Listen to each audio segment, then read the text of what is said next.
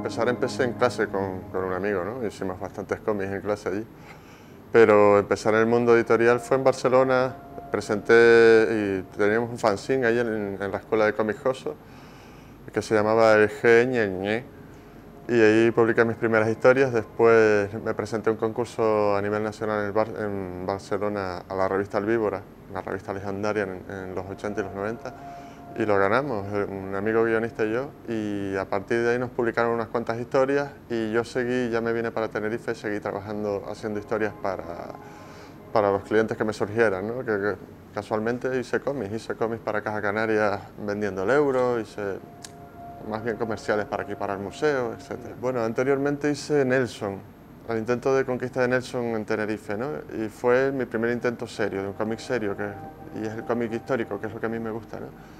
Y después de esa experiencia ya me vi una película de un amigo de Javier Caldas que se llama La Isla del Infierno. Y vi un par de imágenes, la película es un poco así gamberrota, pero vi un par de imágenes que me gustaron muchísimo y pensé en hacer una historia. Y la boceté en una libreta como a bolígrafo, 17 páginas y entonces fue cuando conocí a Paco Pomares, mi editor. Y no de muy buenas maneras porque pretendía quitarme una ilustración de Nelson para una portada, yo fui a discutir con él y entonces eh, le presenté un poco así de, de mala manera el cómic aquel, ¿no? Y tengo este proyecto y tal, y él me dijo, déjame que me lo mire, y, se lo tomó muy en serio. Me dijo, no vamos a hacer uno, vamos a hacer cuatro. Yo dije, no sé si seré capaz. Y me dijo, hazme unas portadas y vamos a ver cómo, en qué nivel tienes. Y entonces yo había recién descubierto las técnicas digitales, ¿no? Entonces apliqué todas las técnicas manuales que había aprendido, porque yo soy de la época de los manuales eh, con, las técnicas digitales y técnicas de, hacer, de calcular paisajes en tres dimensiones y todo eso mezclado en unas imágenes hiperrealistas, ¿no? una cosa como virtual, como tipo PlayStation. Y entonces probamos esa técnica con los guanches y los dos nos quedamos boquiabiertos. ¿no?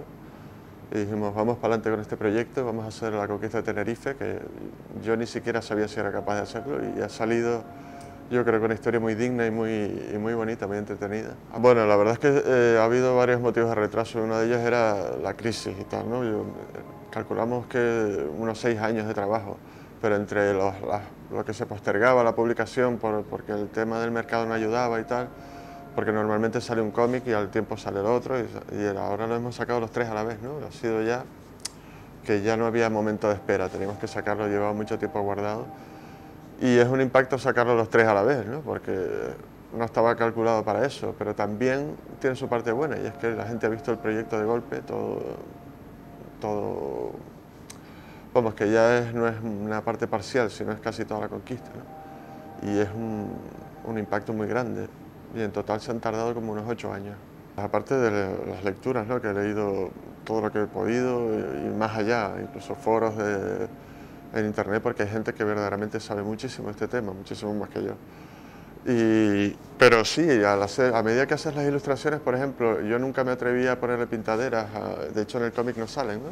porque no está demostrado, para evitar conflictos con, con los profesores y demás, ¿no? y con los, con los entendidos en esta materia. Y, y, de poco a esta parte lo he puesto en la página y he hecho unos experimentos de, de poner eh, las pintaderas Amasic, estas del norte de África, y también respetando mucho que son formas geométricas simples, no son figuras, sino son... Y al ponérselas al personaje me quedé muy sorprendido de cómo se mezcla el valor guerrero con un sentido mágico, ¿no? Y lo vi muy, muy lógico que se pintaran de esa manera. No puedo afirmar que lo hicieran, pero es una cosa que descubres a medida que, pintas, ¿no? Los niños también son aptos para leerlo, pero yo creo que está dirigido más bien a los adultos. Eh, es un cómic para adultos y también para adolescentes porque se ven las batallas en su crudeza, ¿no? Se ven, eh, pues una batalla como es, ¿no? No la voy a describir, pero todo el mundo sabe como una batalla. Mucha sangre, mucho tal. Y luego la historia es una historia novelada dentro de lo que fueron los hechos reales. Y entonces yo creo que ahí está el kit del interés de esta cuestión, porque, porque lo hace mucho más ameno. Tú sigues la vida de un niño que crece como heredero del Mensei Benearo y se ve sujeto a los avatares de la historia, ¿no? que el padre se lo llevan, que se ve inmerso en las batallas de, la matanza y la laguna, se ve inmerso también en el amor de Dácil, que es el cuarto número que estoy haciendo ahora, y a través de toda su vida, porque al final termina él anciano, ¿no? pues nos enteremos de lo que fue la conquista de Tenerife desde su principio, los primeros contactos más inocentes y tal, las batallas eh, más importantes que ganaron los guanches, que es la parte intermedia, y la parte final, que es cuando se pierde la isla y eso. Y en el número 4 él ya es castellano, digamos, ¿no? Mm, está ahí ayudado por el propio castellano, por el, por el capitán Gonzalo del Castillo, que lo camufla para que no tome represalias contra él. Y es la historia de la adaptación del pueblo guanche, que tienen que esconder que, su idioma, que, que tienen que disimular su ascendencia, etc. ¿no? Es una historia, se podría decir que triste, pero en este caso no lo es porque él sobrevive y porque siguen adelante, ¿no? que es, el resultado del pueblo canario, diría yo. Considero que es asombroso cómo ha resistido el, el empuje de la iglesia por borrar totalmente la cultura guanche, ¿no? y lo mal visto que estuvo durante tantos siglos el, tema guanche y, sin embargo es un pueblo que sigue siendo tan, tan misterioso porque sobre todo en Tenerife La Gomera es, el, es como el pueblo original que vino aquí, que es muy, muy antiguo, es casi de la edad de piedra, ¿no? Y es un pueblo realmente misterioso porque no se sabe, no se han logrado entroncar de qué manera y qué pueblos fueron los que lo dotaron, porque eran gente rubia, son una cosa muy extraña, ¿no? Luego ya, por ejemplo, la isla de Las Palmas de Gran Canaria tuvo mucho más oleadas de, sucesivas, de, poblamientos y, de, y también de culturas nuevas que influyeron y de hecho eh, Gran Canaria tenía mucha más cultura técnica eh, y social, Estaba, era más complicado y más compleja su sociedad que la, que la de Tenerife, ¿no? pero Tenerife tiene esa magia especial de ese pueblo tan antiguo y, y tan prehistórico. ¿no? y, tiene ese encanto de los guanches, digamos.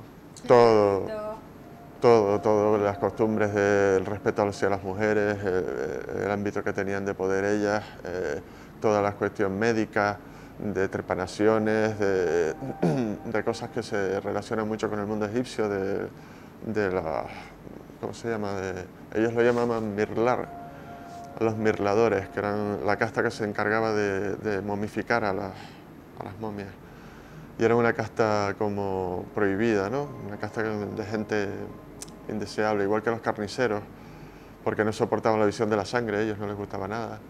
O la cuestión de que en la batalla, cuando te herían y caías al suelo derribado por una piedra o por un palo, podía tu pareja o tu, o tu mujer venir a, socorrerte sin que nadie le, hiciera nada, ¿no? eran una gente que más bien mucho más inocente que, los castellanos que vinieron, que venían con armas de fuego y con, espadas y armaduras, y estaban acostumbrados a pinchar con la espada y a hacer sangre. Por lo tanto fue un choque, aparte de brutal y de, sobre todo por las que estaban aquí, ¿no? por, la, por esa eh, cultura que era prácticamente de la edad de piedra, pues ese, ese, mundo mágico que tenían se derrumbó por completo ¿no? y, es, es, más bien esa desilusión de verse desasistidos ¿no? entre eso y las enfermedades que trajeron los, castellanos eh, se vieron como abandonadas a la tristeza ¿no? hasta que se mezclaron con el pueblo castellano. Mi prioridad es ir al Salón del Cómic Barcelona e intentar mover esto a nivel nacional y mi sueño de verdad es el mercado franco-belga y en Europa que es el que mueve 5.000 cómics mensuales y el que tiene una gran afición a la historia. Y creo que es una historia que interesa mucho en Alemania. Tenemos en proyecto eh, traducirlo al alemán y al inglés. Y sueños, sueños, y que salgan para adelante. De todas formas, eh, las historias van a seguir saliendo, porque ahora, cuando acabemos el libro de... ahora vamos a sacar Dácil y un libro de, como digamos, póster o, o, imágenes de 33 guanches y princesas eh, de aquí de Tenerife y luego nos vamos a meter de lleno con Gran Canaria, o sea que el proyecto sigue, sigue para adelante y, espero sacar un álbum por año con Gran Canaria o cada 14 meses más o menos. Me encantaría, además sería súper lúdico, un videojuego que, llevara la, conquista por fases y te pudieras poner en los dos bandos. O incluso llevarlo al cine. Yo le he mandado ahora unos ejemplares a Ridley Scott en el rodaje de Fuerteventura, en Exodus, porque tengo amigos eh, que trabajan en producción y habían logrado dárselo al hijo y ayer me han llamado que se lo habían dado a Ridley Scott y no, de que habló directamente con Ridley Scott y que sí, que le había, le había gustado mucho y tal. Es un sueño, ¿no? Total, más con ese director, ¿no? Pero es que es, es un cómic en plan superproducción americana y se ven los ejércitos corriendo de un lado para otro y llevarlo al cine sería muy costoso, ¿no? Tendría que ser algo así, en plan, superproducción.